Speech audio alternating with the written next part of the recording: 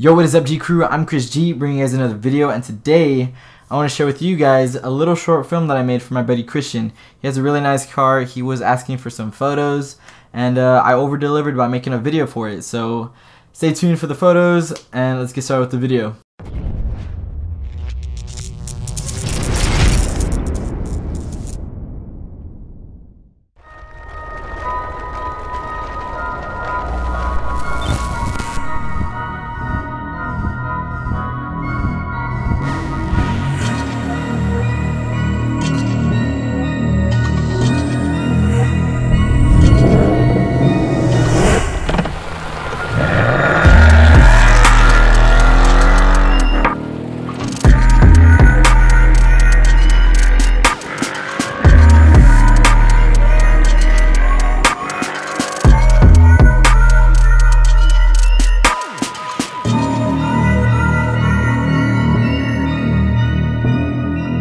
Well, I hope you guys liked that little short film that I made. Didn't really take me too long to make it actually, surprisingly.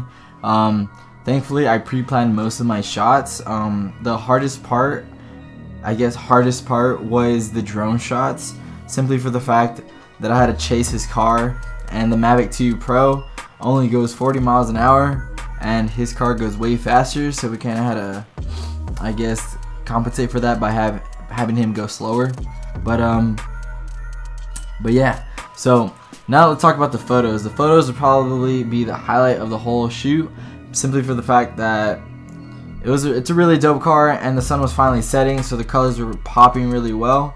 Um, but uh, yeah, the first shot that I want to talk about was this shot right here. It's of the Mustang from the behind, but kind of at an angle, so it shows off the wheels barely, just enough.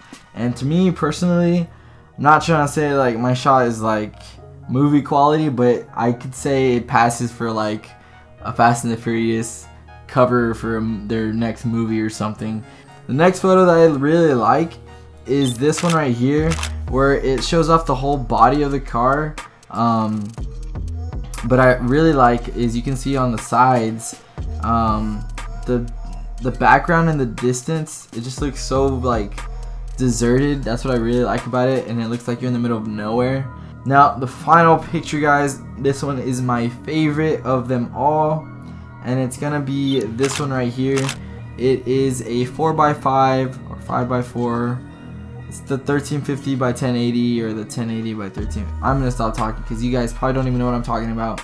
This shot right here, guys, is my favorite shot of the whole thing, simply for the fact that the street is just so glossy and it's so crisp. Like it just looks like the clarity on there. I bumped it up intentionally. I brought up the highlights so that way it looked like the sun was literally like melting the street and it looks sick.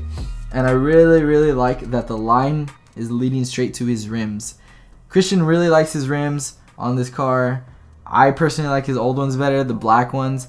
But hey, it's his car. He does what he wants. Whatever, right?